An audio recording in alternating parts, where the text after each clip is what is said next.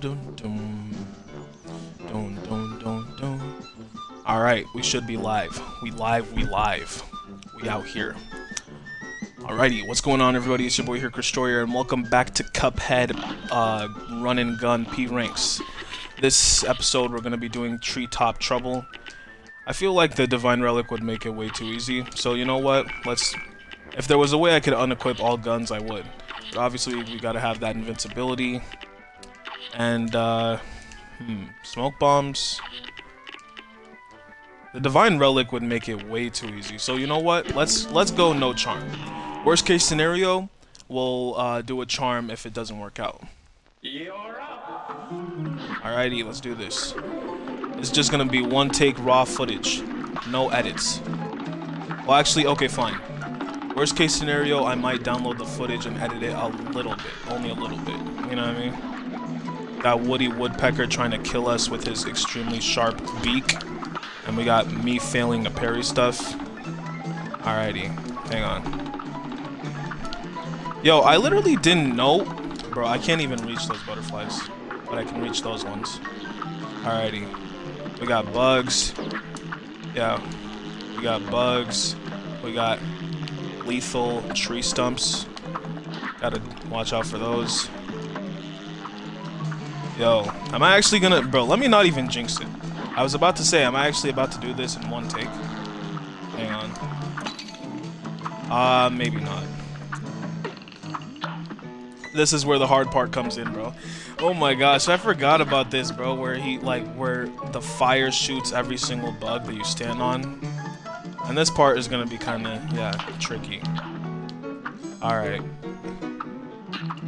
Jump, jump, watch out, watch out, watch out, watch out. Alright. Man, bro, I just realized something, bro.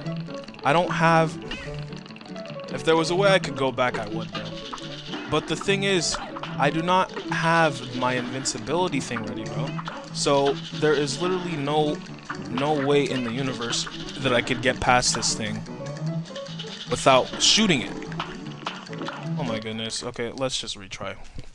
This time, I'm gonna remember to get all six or five parries. Why didn't y'all tell me that, bro?